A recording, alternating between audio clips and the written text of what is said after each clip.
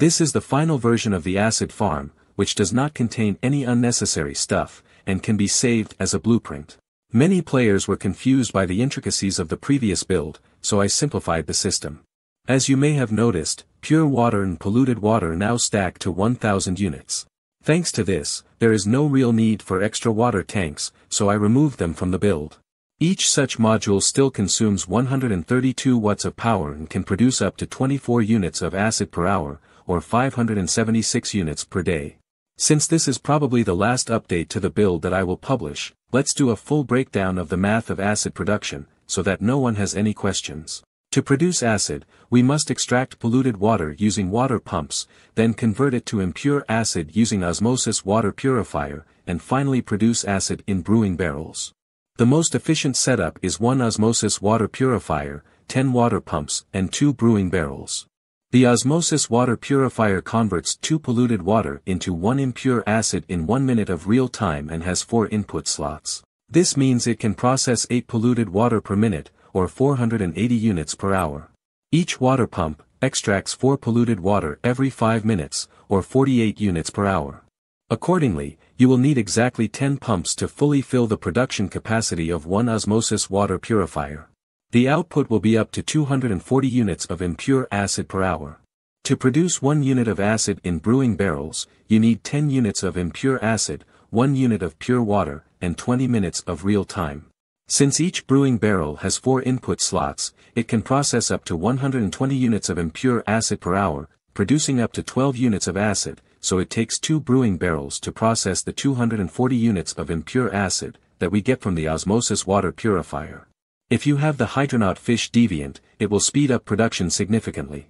For example, a hydronaut fish with a skill rating of 1, speeds up impure acid production from 1 minute to 52 seconds, and acid production from 20 minutes to about 17 minutes 30 seconds. You can get this deviant for completing Securement Silo EX1 in the way of winter scenario, and I will definitely post something featuring it, when I have more data.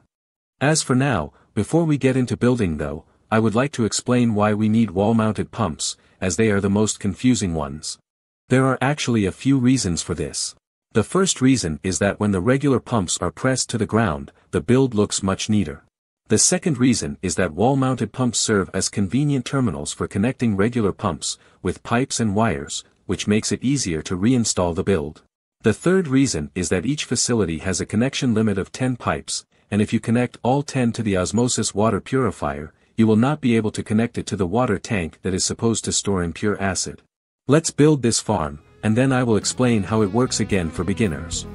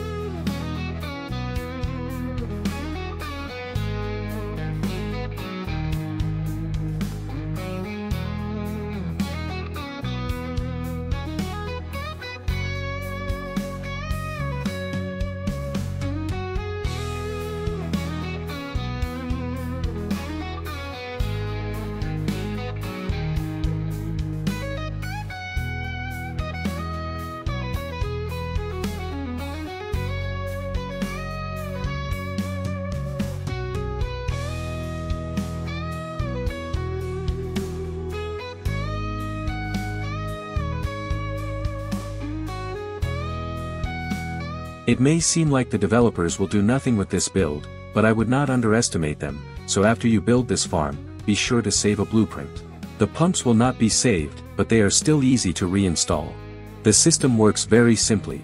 As always, we have three switches, one for brewing barrels, one for osmosis water purifier, and one for pumps. Power is supplied to the terminal on top. The switch that controls the pumps is connected to both wall-mounted pumps on the sides of the structure. This way, when you reinstall the build, you only need to install 5 regular pumps on each side, and connect them to the wall-mounted pumps with wires and pipes. Since impure acid cannot be transported through pipes, it will be stored in a water tank. All you need to do is periodically take it out, and place it in brewing barrels, which also need to be supplied with pure water. For beginners, I again remind you that you need to install the pumps at a significant distance from any bodies of water. Otherwise, in addition to polluted water, they will extract dirty water, and you will have a mess. Instead, you can easily separate the production of acid and pure water, placing your territory on the border of the contaminated area. On the polluted part you can place your acid farm and deviation energy generators, and on the normal half, pure water farm and the main building of your base. You can learn more about this from a separate guide. The link to it and other useful materials will be in the description. Also don't forget to check out the playlist at the end of this video, since it contains a lot of useful information about the game. As always thank you for watching and, bye.